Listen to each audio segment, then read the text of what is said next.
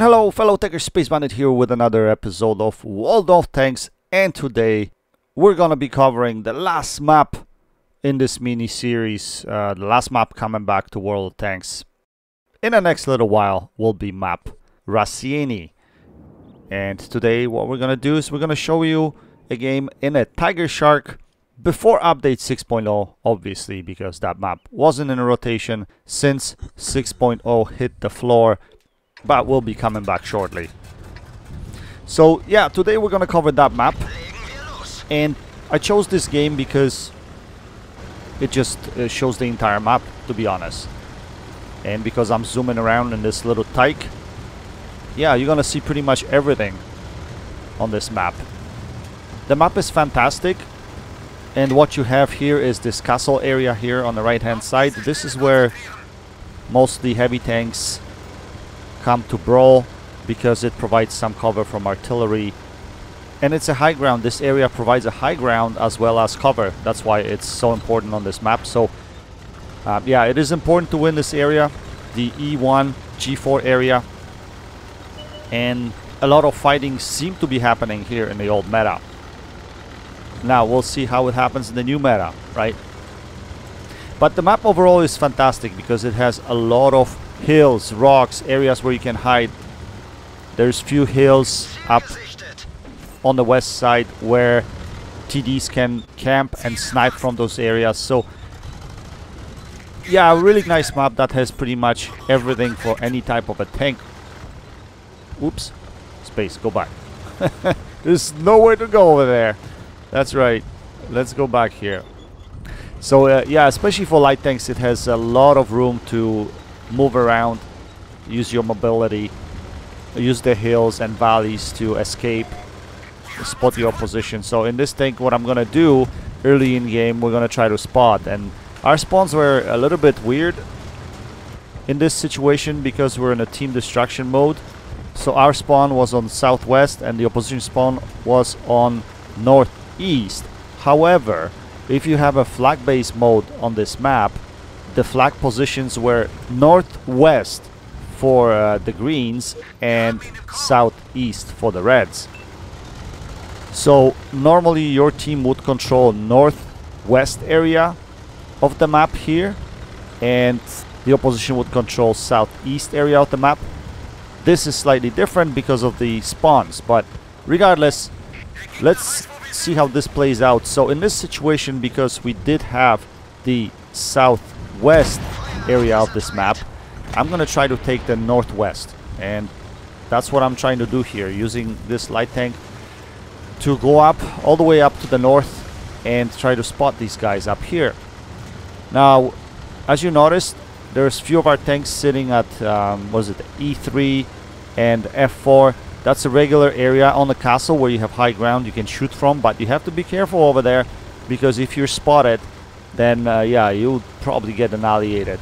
Because TDs like sitting in area D3 or D4, as well as F9 and G9. And from there, yeah, they can shoot pretty much across the map. Also, because of the terrain, light tanks and medium tanks can get down all the way to the castle area into locations E4 or F5 because you have low ground over there so if you can get in right under the castle, the greenies in this situation would have to overexpose to shoot these guys. You can see a red's medium tank right there at F5. Yeah, that area over there, you could pretty much go unpunished because there won't be any guns looking at you. It will be hard to get away from that location if you get pushed, but yeah, it provides really good spots to your team if you decide to make that aggressive play.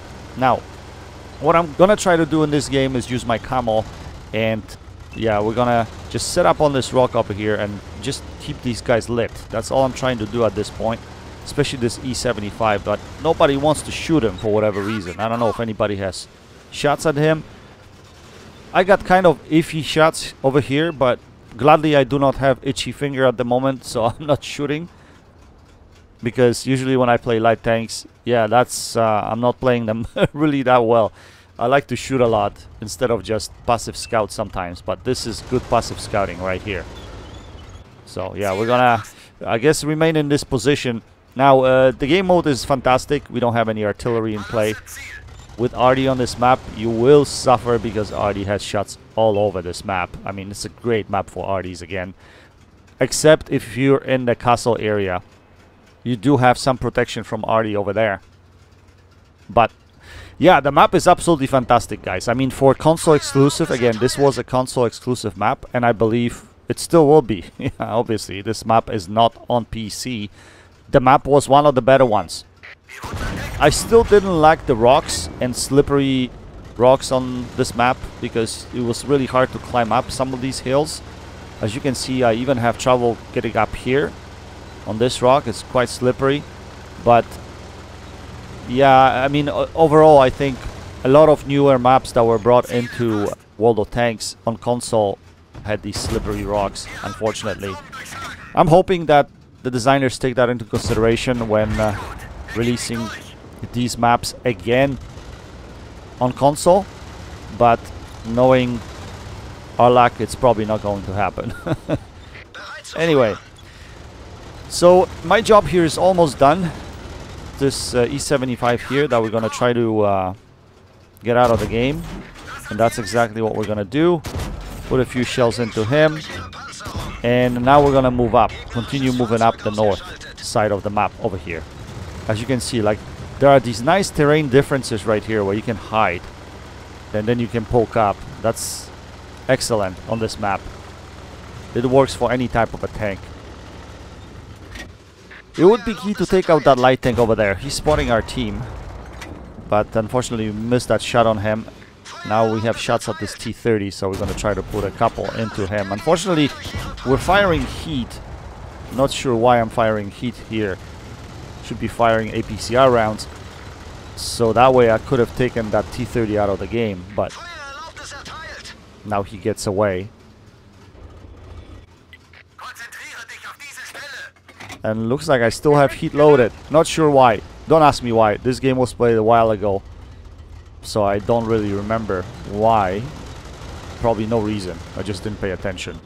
We have a shot at this light tank. Can we put a shell into him? Yes, we can. The shell flies through. Can we take him out? No, he gets away. Now, that's a problem.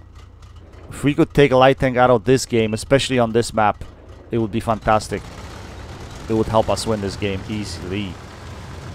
Anyway, we're gonna reposition here, see if we can spot something else. And I'm gonna keep going on the outskirts of the map over here and try to see if I can spot.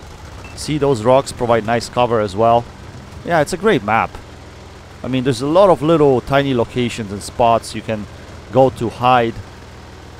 Especially for light tanks, where you cruise around the map you can use the open area to spot and then get behind the rock if you need to. Now here I'm not spotted, so we're to try to put a shell into this guy. Now we get spotted.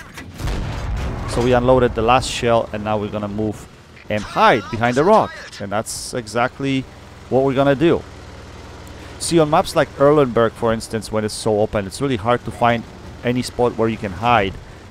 So I kind of like the way Wargaming did this map where you do have little areas where you can hide even though there's quite open terrain you can still hide behind those rocks and dips in the terrain.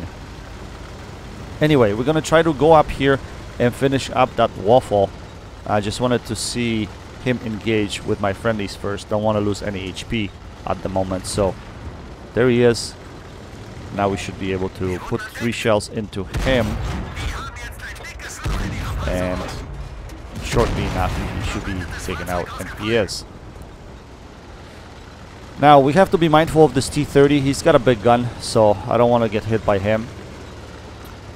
But he seems to be just chilling over there, not sure why. We're gonna reload, and once we reload, since our medium tank is coming from the north side, we're gonna try to go south. But he's looking at me. Luckily, he couldn't aim quite fast enough, so we're able to take him out of the game. So again, the game is still close, but we're going to continue our progress. We're going to go through the north, see if we can pinch these guys or flank them from this side.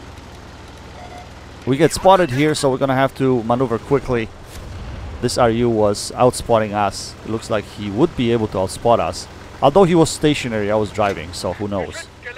He might have been outspotting me because, yeah, he was just sitting there. Now we have shots into these guys, into their behinds. Unfortunately, this shell doesn't go anywhere. Gonna try another one. Yeah, that's never gonna pen Object 257. Their tracks are just too strong. And their hull is angled. They basically have V-shaped hull. Even if you try to shoot the tracks, you won't be able to pen them. We do end up hitting standard B over there. But unfortunately, all of our tanks on the south side get taken out at the moment. So we're losing this game. It's actually 2v3.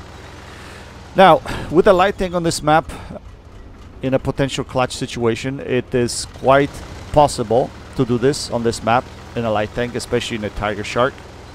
So let's see if we are able to do this. So we're gonna use the high ground. Like, look at those hills right here. See? This is where TDs like to sit as well.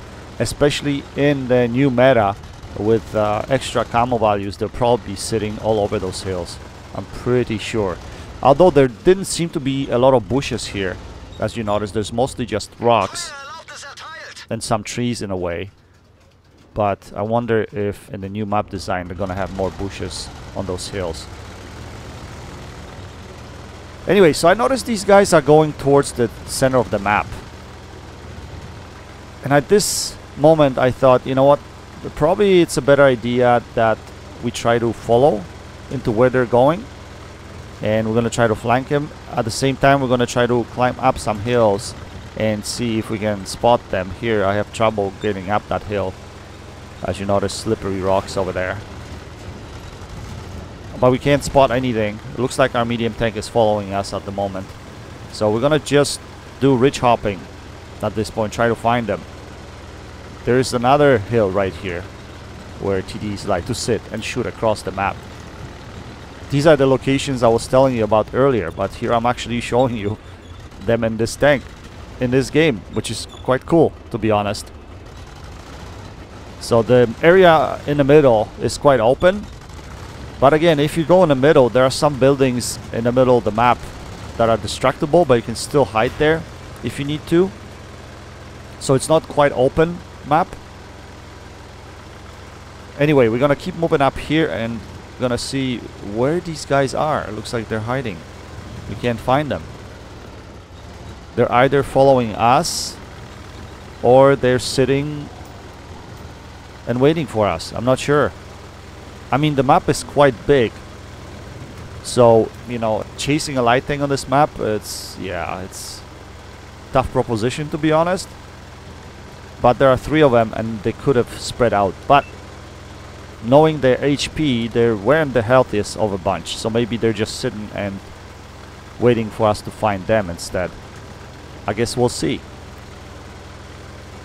So right here you can see nice riverbed and this is what I was talking about. If you take this riverbed all the way around the castle, you will be able to stay unspotted and it will be hard for these guys that are sitting in the castle area to hit you.